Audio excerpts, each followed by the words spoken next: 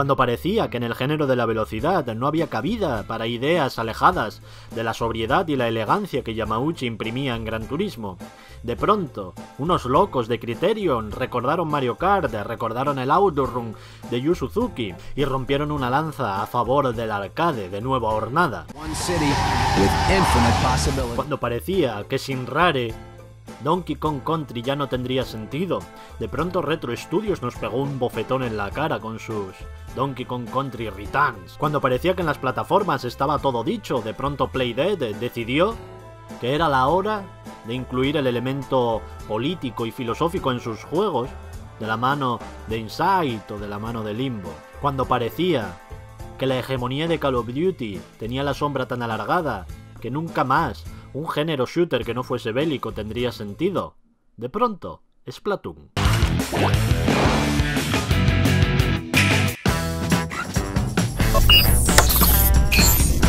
Pero lo cierto es que los jugadores de videojuegos somos unos animales particulares, particulares en la medida en la cual somos a la vez eh, tremendamente conservadores y queremos de una manera eh, muy eh, clara nuestras sagas de toda la vida y sentirnos cómodos en esa sensación de confort, en esa sensación de retorno a casa, mientras que por otro lado también somos muy abiertos a la calidad eh, cuando viene acompañada de la innovación, o abiertos a la innovación cuando viene acompañada de la calidad.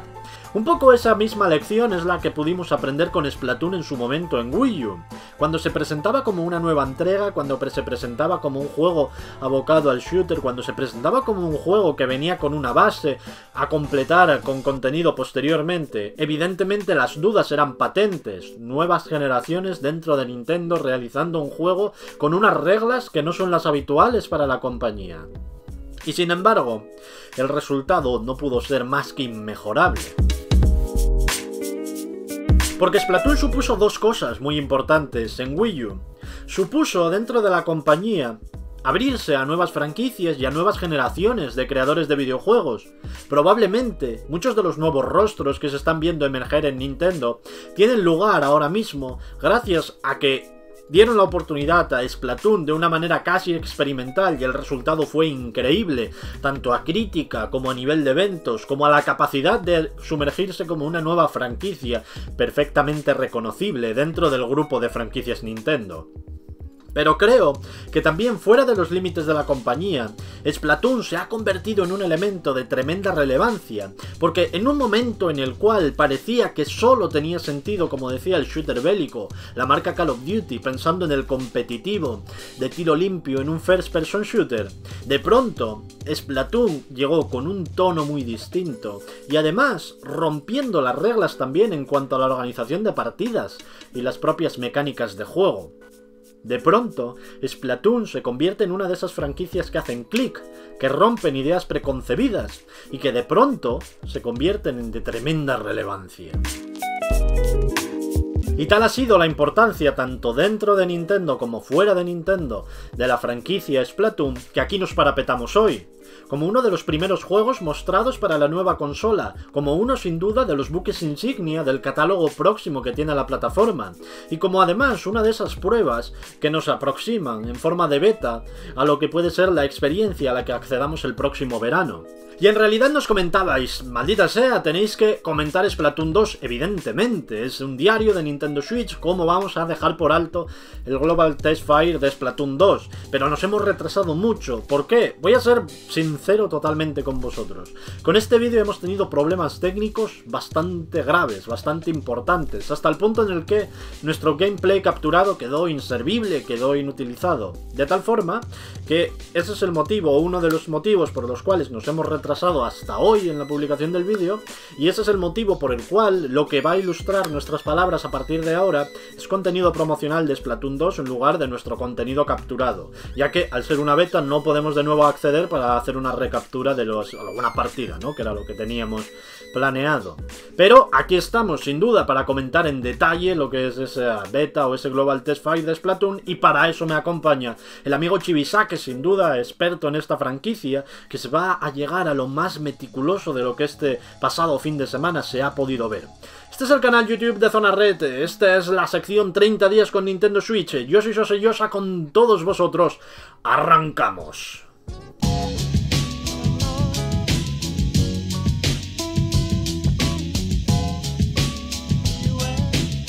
Para hablar de Splatoon 2 y de esta beta, de estas impresiones del Global Test Fire, me acompaña Juan José Cintas Chivisake, que no solo es quien ha estado un poco encargado de darle a esta prueba, sino que también es una de las que yo entiendo como voces autorizadas para hablar de este juego por los conocimientos profundos que posee sobre esta licencia en particular. Así que sin más, ¿Qué te ha parecido este acercamiento, Chivisake, estas primeras sensaciones? La verdad es que sorprende, ¿no? Que en esta ocasión Nintendo haya querido sacar tan rápida una, primera beta. Yo entiendo que habrá más eh, sobre, sobre uno de los juegos que tiene para, preparados para verano.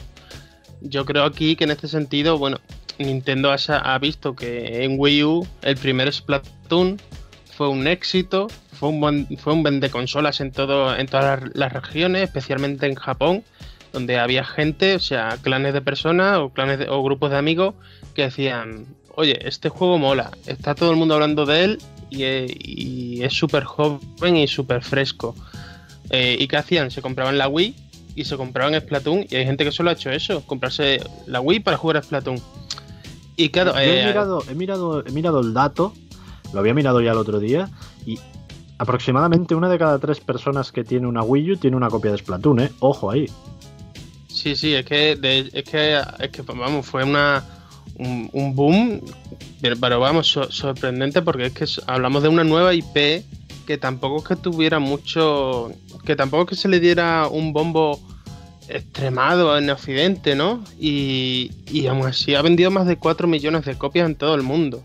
O sea, lo que se dice, o sea, eh, vamos, es algo, algo que no se ve todos los días, ¿no? Y menos en una consola como Wii U, que tiene, tuvo el estigma ese de ser una, una consola poco vendida una consola que a lo mejor no, no, no obtuvo una cifra ni una tasa de usuario suficiente para convencer a las terceras, pero que bueno, se mantuvo digna y entre, entre los títulos First y Second Party que, que dignificaron esta, esta consola, ¿no? Ya, ya, ya de generación pasada, pues llegó, llegó esta sorpresa. Y, eh, y yo creo que fue un poco por, por el boca a boca el primer tráiler que se mostró creo que fue en el E3 2014, si no me equivoco. Bueno, el, vamos, lo, lo comento en mis impresiones de, la beta. es, del, que, es, del, 2014, estaba pensando y sí. Pues, pues eso, se mostró un, vídeo muy, muy extraño, ¿no?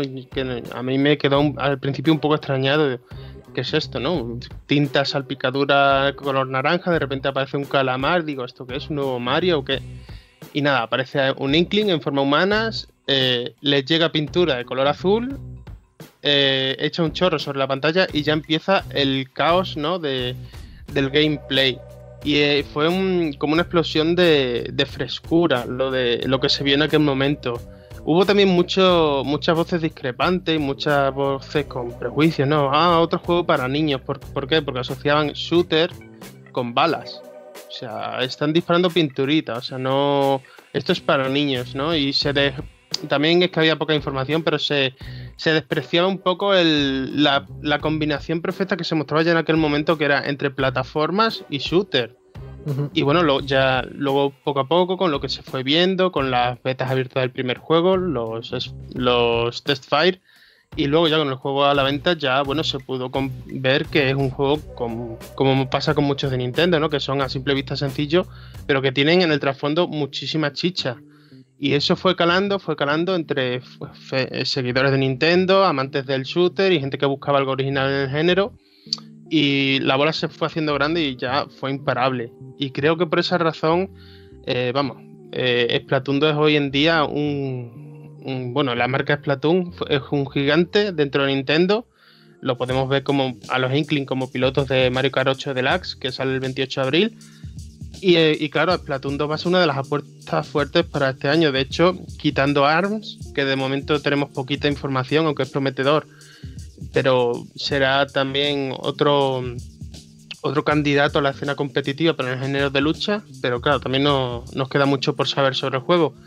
Eh, yo, encuentro, yo encuentro ahora que sacas a colación Marms, que lo iba a sacar yo también, porque encuentro como cierto paralelismo en la jugada que en su momento tuvo Splatoon dentro de su género particular y que ahora tiene ARMS dentro del suyo propio, ¿no? Algo que, parece muy refrescante, que a simple vista parece muy simple, pero si, si habéis ido viendo vídeos de este juego de lucha tan particular, en realidad eh, yo creo que, esconde más de lo que, de lo que aparenta, porque la posibilidad de cambiar los puños y demás, yo creo que le da, que le va a dar un, un toque y un tono que va a ser por un lado algo distinto a lo que habitualmente sin duda se asocia al género tradicionalmente, pero por otro lado se puede prestar a ese tipo de partida rápida, de pique y demás, que a mí al menos me resulta muy atractivo y, sin ser sencillo en ningún caso. Sí, además que hacen bien, uno de los primeros datos que, de control que han compartido es muy, es muy positivo porque, bueno, se desecha un poco la filosofía, está un poco a lo Miyamoto, que es imponer la filosofía de la consola al juego como única opción. Aquí no, aquí podemos usar diferentes configuraciones. Podemos usar los Joy-Con en vertical, podemos usar el mando perrito, dividir los Joy-Con y hacer los dos mandos, o incluso usar el mando Pro. Pero claro, eso también cambia el estilo de juego. Eh, en uno de los avances escribí que, que, bueno, que eh, por ejemplo, en los jugadores tradicionales, ¿no? Los que quieren usar el mando pueden hacerlo perfectamente, pero que, por ejemplo, hay mayor maniobrabilidad si tienes los, si utilizas los dos Joy-Con en, vertical, ¿no? El tema de, de, digamos que un movimiento más libre, ¿no? Menos, menos automatizado. Y en este sentido, el, el juego es como decías, ¿no? El bastante promete, ¿no? Que sabemos muy poco, pero promete que vas, que tiene, tiene algo ahí abajo, ¿no? Tiene una, tiene algo que mostrarnos y ese toque diferente, ¿no? que tampoco se suele ver mucho en el, en el, en el género de lucha de personalización. Con, con, diferentes estilos de armas que cambian el estilo de juego también, porque por ejemplo había un arma boomerang que en vez de disparar para el frente, lo que hacía era disparar en arco, ¿no? Eso ya, por ejemplo, si, se si se esconde un enemigo detrás de una plataforma, porque hay escenarios con... Uy, perdón, detrás de una columna, porque hay escenarios con columna y cosas de esas, ¿no? Pues ya le, vas a dar, ¿no? A menos que se cubra, le, le das. Y son, es un poco... Yo lo veo un poco Splatoon 2 meets Overwatch, porque también presenta personajes carismáticos, muy pintorescos y que responde a ciertos clichés, ¿no? El, ninja, la chica pop, el, el monstruo, el ogro, ¿no? El, luego la, chica científica, no sé. De alguna manera, de alguna manera también sucede otro paralelismo con Splatoon, es el hecho de que probablemente previo a su lanzamiento no está levantando eh, pues mucho ruido en realidad, pero será luego el boca a boca lo que en caso de que se cumplan estas expectativas o estas impresiones que, por ejemplo nosotros estamos comentando que nos levantan, luego se convierta en ese juego comentado, en ese juego compartido. Tiene también la ventaja de llegar muy muy pronto en el catálogo, entonces va a tener la, oportunidad de lograr una visibilidad muy fácil de conseguir. En todo caso, y ya volvemos a Splatoon, que se nos pusimos aquí un apóstrofe, ¿eh? Eh, si vais a al, salón del manga, al salón del cómic, perdón, de Barcelona, eh, habrá una demo allí para probar de, este ARMS. Así que aprovechad la ocasión los que, los que os eh, paséis por allí estos días. Splatoon, volvemos, segunda entrega. Sí, pues eh, lo que te decía, bueno, comentabas un poco del boca a boca y a ver qué tal sale. Yo creo que hay muchas expectativas puestas en el juego, ya no solo por parte de las fanbases, sino por aquellos que no pudieron tener una Wii U que ahora tienen una Switch y que se ven interesados por el juego, ¿no? Y bueno, eh, en, el, escenario competitivo, que es donde, donde juego yo, eh, eh, yo conozco casos de, o sea, toda la gente que tiene el, el, primer juego quiere irremediablemente jugar a Splatoon 2. Algunos llegarán más tarde, otros más temprano. De hecho, conozco gente que se ha comprado la Switch por Splatoon 2 en vez de por el Zelda. Claro, aprovecha y se ha pillado el Zelda, ¿no? Pero lo ha pillado en vista futura. Habrá gente que se esperará al verano para comprarla. Y bueno, a lo mejor gente más joven, ¿no? Que tampoco tiene tanto poder adquisitivo, pues se esperará un poco hasta Navidades, ¿no? Que es cuando ya llegue la segunda campaña, porque Splatoon se vendió durante varias campañas. Se vendió, creo que, es que no me acuerdo cuándo salió el año, el año pasado, pero se vendió en torno a verano, otoño, y luego en invierno hubo una nueva campaña de promoción de Splatoon 1. O sea, yo creo que con Splatoon 2 harán igual, saldrá en verano. En Navidades harán promoción junto con los juegos que tengan que salir, eh, eh, Mario Odyssey y demás. y así poco a poco irá creciendo el, la, bueno, la, base de usuarios. Yo creo que, vamos, hay más gente esperándolo, el 2 obviamente que el 1, porque el 1 fue un éxito y ya, ya tiene a los usuarios ahí creados. Y bueno, en ese sentido yo, yo creo que, que vaya, habrá, habrá bastantes personas y bueno, estas betas son, sirven un poco para, aportar feedback, para crear opinión entre, y debate entre los, usuarios nuevos y veteranos y un poco ver, ver qué tal, qué se podría mejorar, si convence, si no, si hacen falta más, más betas y, bueno, y todo, todo eso. Con este contexto creado, un contexto, como veis, bastante, bastante amplio, porque nos fuimos muy, muy lejos, pues eh, nos situamos en lo que es eh, justamente la beta, ¿no? Esas eh, experiencias, ya esas impresiones con lo que fue la prueba de este, de este fin de semana. Y entonces eh, yo no he podido jugar, por eso yo no he hablado estos días en el diario de Zona Red y por eso también tenemos aquí a Chibisaque que además os puede contar cosas que probablemente a mí también se me escaparían, ¿no? Dentro de lo que es las impresiones. Así que, sin más, ¿por dónde quieres atacar el tema?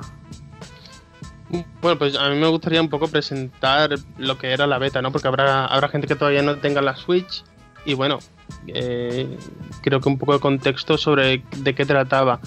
Eran, eran básicamente combates territoriales de cuatro jugadores contra cuatro jugadores. Eran dos equipos en, en, dos mapas que aparecían aleatoriamente.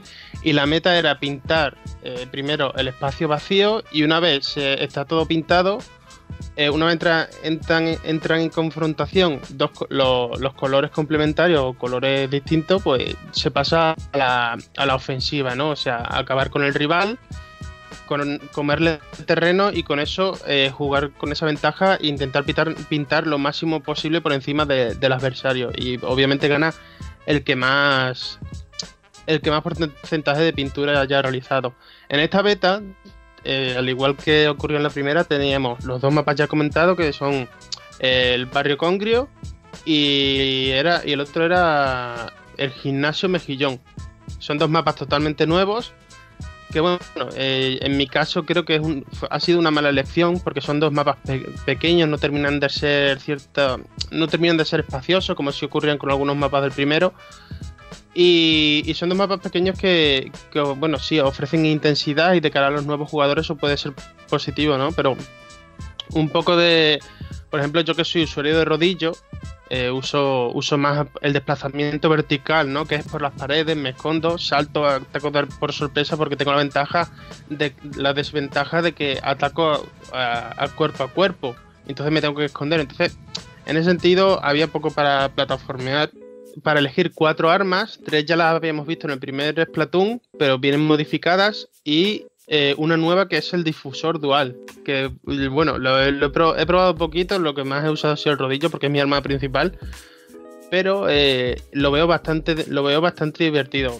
Empezando por, por este arma, estos difusores duales lo que hacían era, bueno, el usuario que, la, que elegía las armas tenía dos pistolas que disparaban a la vez y luego adquiría una habilidad nueva que no tenía que no tienen otras armas que en vez de saltar lo que hace es hacer un, movimiento de esquiva. Entonces si por ejemplo si tú veías que te iba a disparar un francotirador o que te iban a salpicar te, apartabas un momento y esquivabas rápidamente el, el disparo del enemigo no también tenía un nuevo arma secundaria que es el ¿cómo se llamaba? ah sí la piedra de curling que bueno, es un poco como las lanchas teledirigidas del primero, pero en vez de ser teledirigida, tú lo que hacías era medir la potencia de disparo, lanzabas la piedra de curling y donde aterrizaba y se quedaba quieta, explotaba. Si pillaba un enemigo de por medio, pues pues, pues lo mataba. Eh, otra arma, el cargatintas, es que es el arma de francotirador. Eh, se han visto pocos, porque bueno, es un arma que requiere precisión, requiere, obliga a usar el giroscopio para esa precisión. Es un arma bastante avanzada que ha mejorado muchísimo con respecto al primero. ¿Por qué? Porque puedes guardar la carga de disparo. O sea, para disparar con ese arma, tú no disparas automáticamente. Tú lo que tienes que hacer es cargar. O sea, es como si el arma chupara eh, tinta y luego la tuviese que disparar. Claro, ese tiempo de espera mientras apuntabas en el primero te, podían contrarrestar y te podían matar. Aquí no, en, la beta de Splatoon hemos podido ver que, bueno, cargas, te guardas ese disparo, puedes ir nadando a cambio de que tengas una luz que te, que te, que te delata, que te hace más llamativo, ¿no? Y luego de acercarte al, al enemigo por, eh, el sitio estratégico que veas y, disparar, y dispararle. El tercer arma del que, voy, a hablar es el cargatintas novato, que es el que, bueno, en este sentido tiene un nuevo, un nuevo especial que era otra burrada, que sacaba dos pedazos de arma que lanzaban misiles teledirigidos contra el contra los adversarios y si no y si no te movías rápido de allí o si no tenías una encerrona te comías los misiles y te mataban y es un, es especial, creo que, vamos, de los mejores especiales que había en la, beta. Y luego, bueno, el, arma, el arma en, sí, eh, siendo una de las primeras armas que recibes en el juego, es bastante, bastante potente. El último arma es el, el que, vamos, el que he usado más y, es el rodillo. El rodillo básico que trae bastantes novedades, pero también es como si, como si fuera el, saco de boxeo, ¿no? De, los desarrolladores de Splatoon, porque es que cada, cada cambio que le hacen siempre tiene o algo negativo o todo es negativo. En este caso tiene varias cosas buenas, pero también otras cosas que son que no me han gustado nada. Por ejemplo, ahora puedes disparar en vertical, que cuando saltas con el cuando saltas con el personaje, eh, disparas en vertical, que lo que haces es alcanzar más una mayor distancia con, de pintado, ¿no? Eso es lo que te convierte en una especie de, francotirador sin, llegar a, alcanzar la misma distancia, pero sí llega bastante más lejos, algo como el dinamo, pero sin abarcar tanto a lo ancho. Muy bien, eso yo creo que es un repaso pormenorizado a los elementos que componen eh, eh, algunas de las características a las que se ha podido acceder en esta beta, que todo es susceptible evidentemente de modificación de cara a futuros test, de cara a la versión final para eso, para eso está una beta y en esta ocasión además. Yo entiendo que cubre un cierto interés pues promocional que al final siempre tiene una beta porque es una fecha muy interesante para plantear un ejercicio como este ya que la consola acaba de salir no, no hay eh, muchos juegos en el mercado ni tampoco eh, después del desembolso inicial de la consola eh, la gente se habrá comprado muchos títulos, ¿no? Entonces, pues es un entretenimiento interesante para un fin de semana y para dar a conocer Splatoon a gente que quizá no lo conozca. Y por otro lado, pues tiene el margen suficiente hasta la fecha de lanzamiento, que está estimada en verano, eh, bueno, no está marcada, no estimada, está marcada en verano para pues eh, cualquier elemento eh, pues ofrecer o proponer que sea susceptible de, cambio, de modificación, de mejora al respecto del feedback o de los propios datos internos de la beta en sí. Así que, si te parece, concluye con un par de titulares de lo que es o de lo que te ha parecido este Splatoon 2 y ponemos aquí el punto ponemos aquí el punto y seguido porque mañana continúa 30 días con Nintendo Switch. Eh, titular, es un juego, eh, ha sido una experiencia divertida, eh, no muy variada, pero que, corre peligro de estancarse. Pero eso ha sido una experiencia divertida, con, los especiales muy, Los nuevos especiales son muy, muy divertidos, muy originales y muy brutales. Y bueno, seguro que, que pronto tendremos noticias sobre una segunda beta, una probable segunda beta. También nos irán ofreciendo información sobre nuevas armas. Recientemente mostraban imágenes sobre la brocha, el devastador y nuevas armas que regresan a Splatoon 2.